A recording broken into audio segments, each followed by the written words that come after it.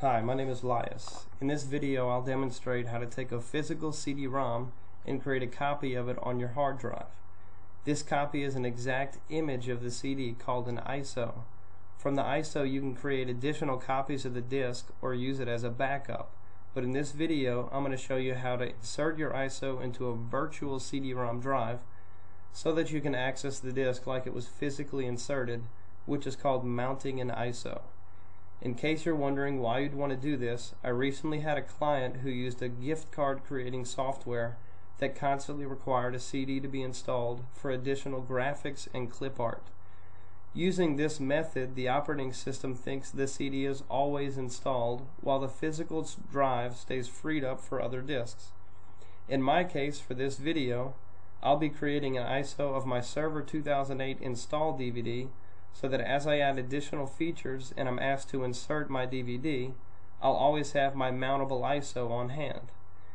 I'll be posting links to the tools I use in the description, all of which are freely available, easy to use, and very lightweight. This method works for CDs and DVDs.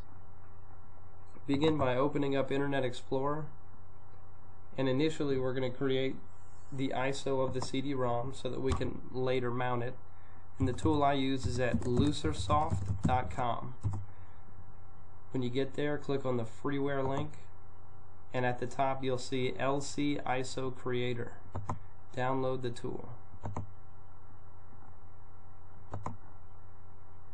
Comes in a zip format, so I'm going to extract it on my desktop by just dragging and dropping.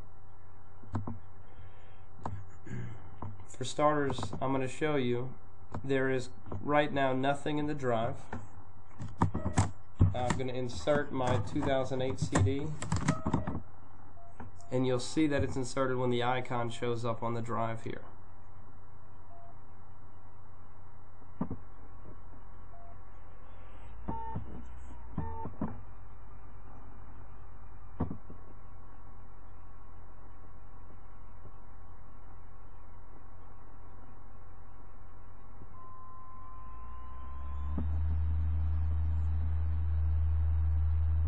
And this is a physical CD-ROM drive with a physical DVD inserted. I'm going to open up LCISO Creator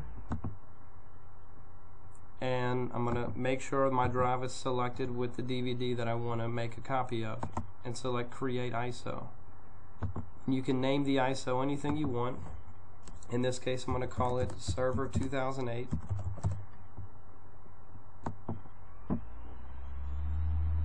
program will begin to read the disk and create a copy of the disk.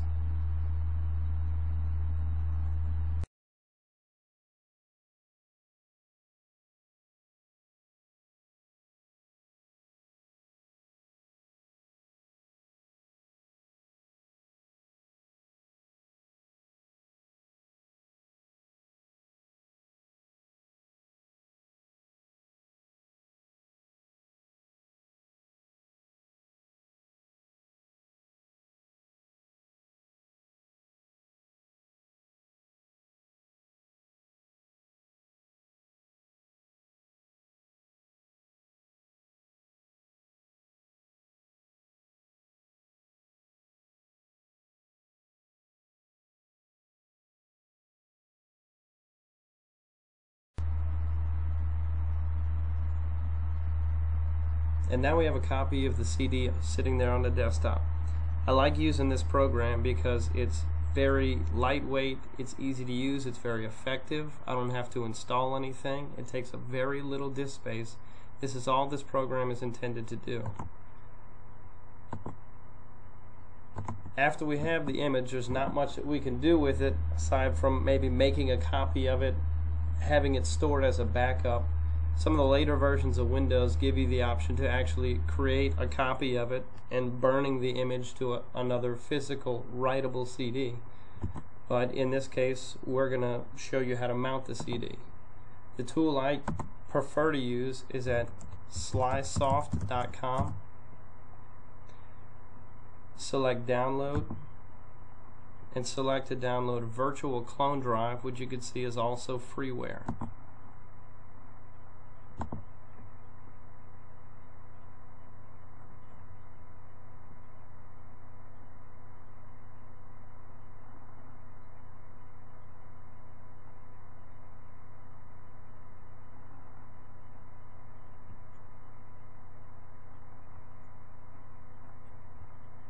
This program does require an installation because it has to install the drivers that it needs to be able to make this virtual CD-ROM drive. But it is still very lightweight. As you can see, it's only about one and a half megabytes. When you run it, you'll probably get prompted about whether or not you want to trust the software company. Tell it to always trust and select install.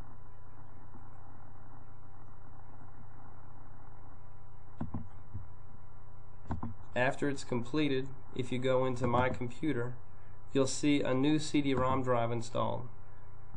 And if you look earlier, I only have one physical CD-ROM drive. However, the additional one is the virtual CD-ROM drive. And to put this into perspective for you, I'm going to remove my physical disk so that you can watch the icon change indicating that the disk is gone. And I'm going to keep that out of the drive for the other drive, I'm going to right click my image, which has a new icon because of the software we installed. And I'm going to ask it to mount it to the F drive, which is the new drive created here. And watch what happens. The computer now thinks that the drive is physically inserted into the machine and it leaves my other drive available for me to use other disks. I hope this video has been helpful for you. Thank you very much for watching.